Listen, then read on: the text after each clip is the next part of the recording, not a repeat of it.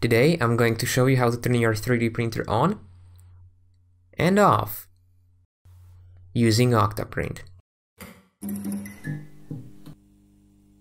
Octoprint is an amazing software that allows you to remotely control your 3D printer with Raspberry Pi.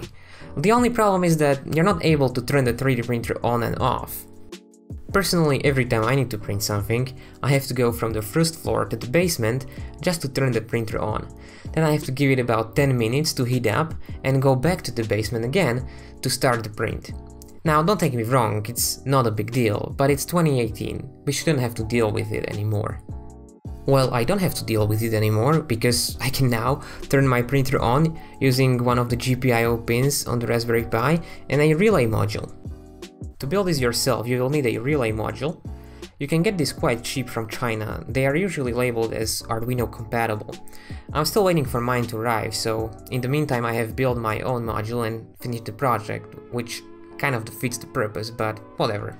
It's just a relay I had laying around.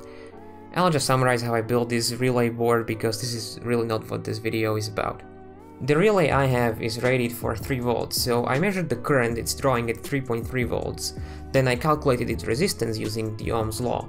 Next I connected it to a transistor as a switch and calculated its base resistor value. I added a flyback diode, thrown it all on a PCB with a pin header and a screw terminal. Just like that, it's done. If you purchased your relay module instead of building one like a normal person, then it's most likely rated for 5 volts. Make sure it also works with 3.3 volts signal by connecting the VCC pin to 5 volts, GND pin to ground pin, and the input pin to 3.3 volts.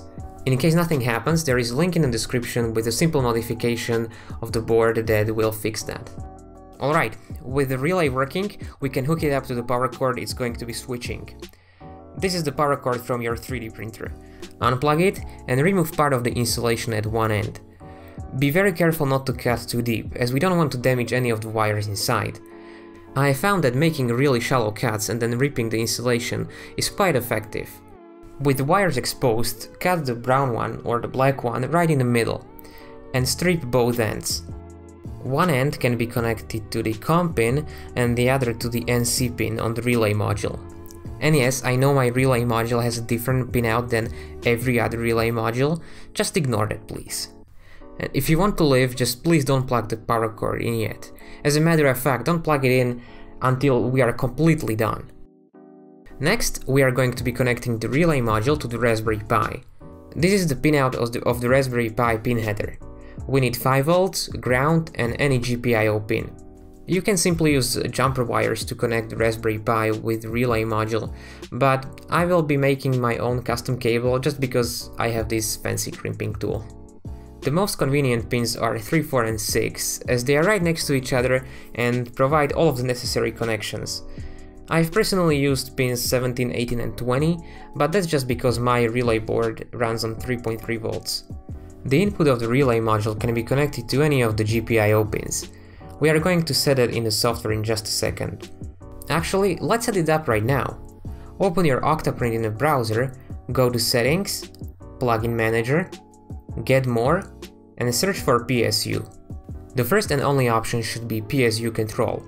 Go ahead and install it, it will take a few minutes and you will have to restart your Octoprint at the end. Once installed you will have a new bolt icon. It doesn't do anything yet. Go back to Settings and now there will be new PSU control option. Change switching method to GPIO, GPIO mode to board, and this is the number of the pin where the relay input is connected. Let's look at the pinout again. We need to enter the number of the pin. That is the number in the circle. So GPIO 2 would be 3 and the GPIO 21 would be 40. So don't mess that up. The remaining settings are kind of fun, but you can leave them as they are. Now the lightning bolt icon on the top should actually control the relay. We are almost done, but don't plug the power cord in yet, we can't have exposed mains wires. So I have designed this enclosure. Now some might say it's just a box, but actually it's minimalist design. You just don't get it. The power cord and the relay module should fit in nicely.